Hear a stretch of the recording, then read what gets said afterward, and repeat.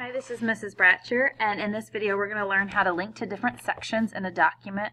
This is especially helpful if you have really long documents. So what we'll do is make bookmarks. To do that, you can select a heading, go to the Insert tab, then you're going to go to Bookmark. Remember, bookmark names can't have spaces, so if you want to have spaces, you'll just have to do underscores.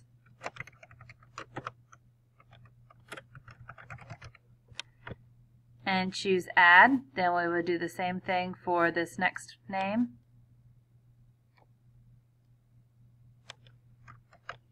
Insert bookmark.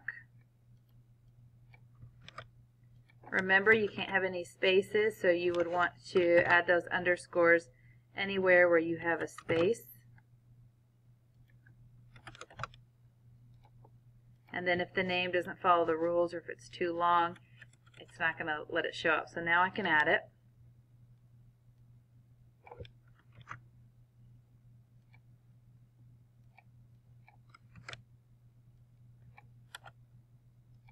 You notice it's grayed out until I get the rules followed. So I still have a space in here. And now I can add it.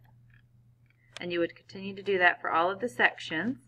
And there are different ways to use these bookmarks to navigate through your document.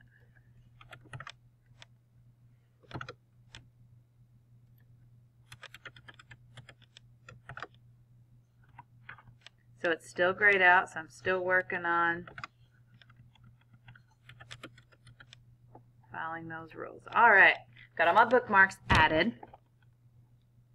In some documents, you might have a table of contents on page one or just other text. So what you could do is have places to link to another section in your document.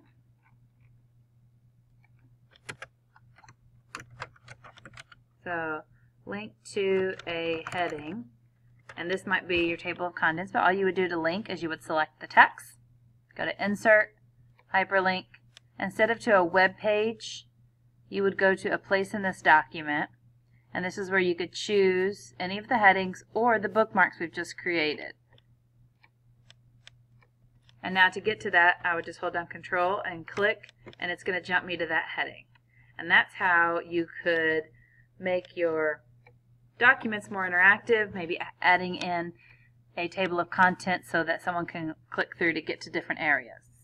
You can also use the navigation pane. So we would go to the View tab, Show Group, Navigation pane, and over here are the different ways that we can search. We can search by headings, pages.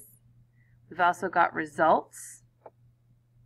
Another way to navigate a long document would be to go to the Home tab, Editing Group, Find. Then you're going to choose the Go To button. Over here we can say Go to Pages, Sections, Lines. I'm going to choose Bookmark. And then all of our bookmark options show up here. And then I'll choose Go To and it's going to jump me to that section.